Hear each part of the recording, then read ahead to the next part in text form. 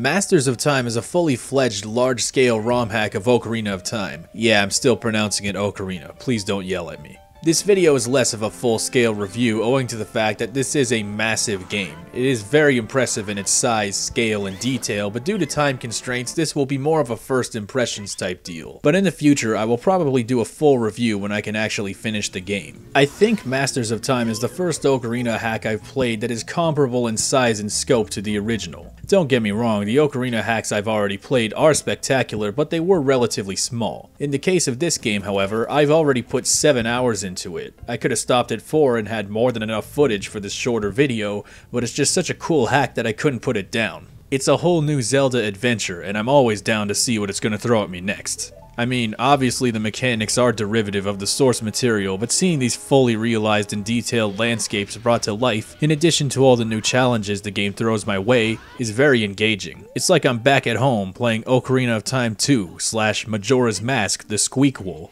Yeah, that's what this hack should have been called. The pacing feels a little closer to the original Zelda on NES, largely because Navi isn't telling you exactly where to go every two seconds, and the map is more open, and I found myself just enjoying getting lost in these huge landscapes before even figuring out where I was really supposed to be going. The new world of this hack is very captivating. A lot of this is owed to funny dialogue, sweet atmospheric details, and kick-ass music, a lot of which I don't recognize, but some of which I do. This game can actually be a little challenging at times. It's not a death march, but I'd say it's definitely harder than the original. You'll be fighting Stalfos and Iron Knuckles before you can even find enough heart containers to upgrade your health in any substantial way.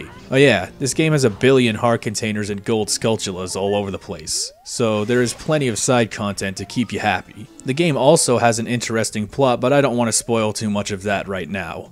Bottom line, this hack kicks ass, I recommend it, link in description, blah blah blah. This concludes day 6, Merry Christmas.